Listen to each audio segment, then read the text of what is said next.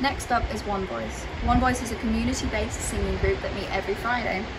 Their children's rehearsal starts at 5pm and ends at 6.30pm and their adults rehearsal is from 6.30pm until 9 at St, uh, Hilda's Church, Kilns Road in Grangetown.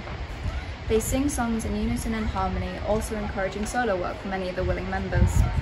They perform together across the borough, singing lots of different songs, uh, mainly from the pop genre. However, they really enjoy singing songs from all cultures, including South Africa.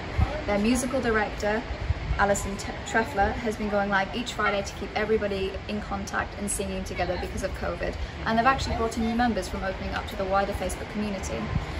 We will see them sing uh, A Little Peace, All Kinds of Everything, and Love Shine a Light, which were all Eurovision songs, and it was Eurovision the day of them recording these songs.